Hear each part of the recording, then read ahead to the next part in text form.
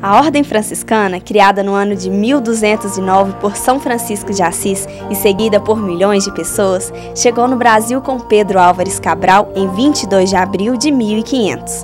Eram oito frades, tendo como superior Frei Henrique de Coimbra. Na cidade de Divinópolis, em Minas Gerais, os franciscanos chegaram em 1924, um grupo com fortes influências holandesas.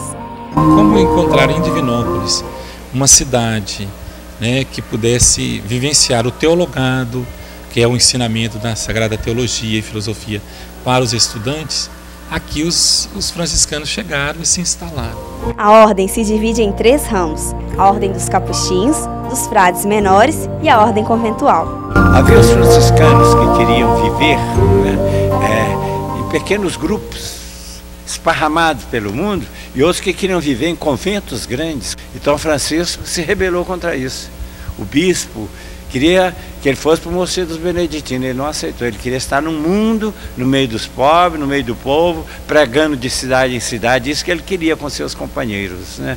Então nós vemos que aí já deu a primeira cisão da ordem. De acordo com a Organização Mundial dos Franciscanos, existem no mundo cerca de 16 mil frades menores que estão distribuídos em 110 países.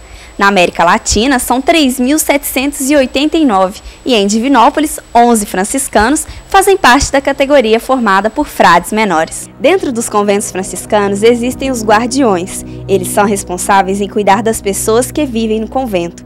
Frei Leonardo é um deles. O guardião no convento dos franciscanos, conforme o desejo de São Francisco, deveria ser uma pessoa que zelasse pelos seus frades, pelos seus irmãos, como uma mãe zela pela sua família, pelos seus filhos.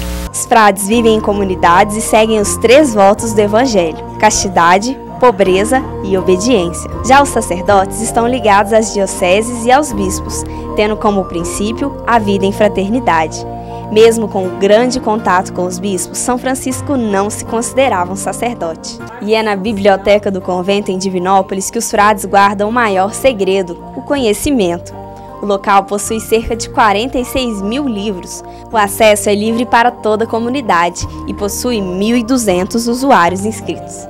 Esta biblioteca aqui, ela veio com a finalidade de, de ser, de servir, né, aos frades que vinham fazer a última fase dos seus estudos aqui. Um símbolo que lembra os franciscanos é o chamado tal, uma espécie de cruz presente em cordões, broches e paredes.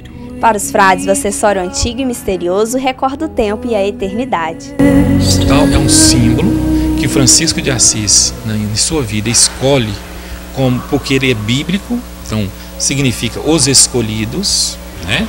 Como está na Bíblia, os escolhidos carregarão um tal na testa.